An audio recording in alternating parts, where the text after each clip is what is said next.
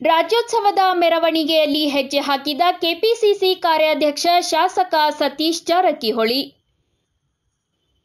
ಹೌದು, ಕನ್ನಡ ರಾಜ್ಯೋತ್ಸವದ ಹಿನ್ನೆಲೆಯಲ್ಲಿ ಮಂಗಳವಾರ ಕುಂದಾನಗರಿ ಬೆಳಗಾವಿ ಅಕ್ಷರಶಃ ಮಧುವಣಗಿತ್ತಿಯಂತೆ ಕಂಗೊಳಿಸುತ್ತಿತ್ತು.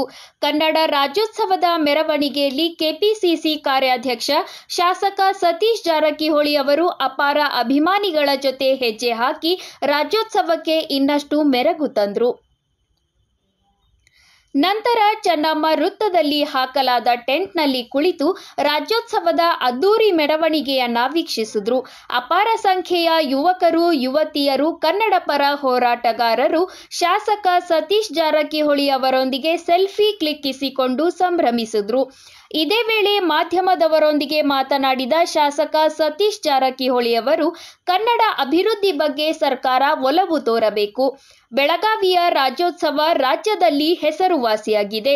ಇಲ್ಲಿರುವ ಕನ್ನಡಾಭಿಮಾನ ನೋಡಲು ಎರಡು ಕಣ್ಣು ಸಾಲದು. ಹೀಗಾಗಿ ಗಡಿನಾಡಿನಲ್ಲಿ ಕನ್ನಡ ಪರ ಸಂಘಟನೆಗಳು ಗಟ್ಟಿಗೊಳಿಸಬೇಕು. ಸಂಘಟನೆಗಳು ಬಲಿಷ್ಠವಾದರೆ ನಮ್ಮ ಉಸಿರಾಗಿರುವ ಕನ್ನಡ ಬೆಳೆಯಲು ಸಾಧ್ಯ. ಉತ್ತರ ಕರ್ನಾಟಕದಲ್ಲಿ ಕನ್ನಡ ಅಭಿವೃದ್ಧಿ ಬಗ್ಗೆ ಸರ್ಕಾರ ವಿಶೇಷ ಗಮನ ಹರಿಸಬೇಕು ಎಂದು ಆಗ್ರಹಿಸಿದರು. ದಕ್ಷಿಣ ಕರ್ನಾಟಕದಲ್ಲಿ ಕನ್ನಡ ಅಭಿವೃದ್ಧಿ ಬಗ್ಗೆ ಸಾಕಷ್ಟು ಅನುದಾನ ವ್ಯಕ್ತವಾಗ್ತಿದೆ. ಅರ್ಧದಷ್ಟು ಅನುದಾನ ಈ ಭಾಗದ ಕನ್ನಡ ಅಭಿಮಾನಿಗಳಿಗೆ ಕೊಟ್ಟರೆ ನಾಡ ಪ್ರೇಮ ಇನ್ನಷ್ಟು ಉತ್ತುಂಗಕ್ಕೇರುವುದು ಎಂದು ತಿಳಿಸಿದ್ರು. ಕೆಪಿಸಿಸಿ ಕಾರ್ಯಾಧ್ಯಕ್ಷ ಸತೀಶ್ ಜಾರಕಿಹೊಳಿ ಅವರ ಆಶೀರ್ವಾದ ಪಡೆದ ಬನಾರಸ್ ಚಿತ್ರನಟ ಖೈದ್ ಖಾನ್.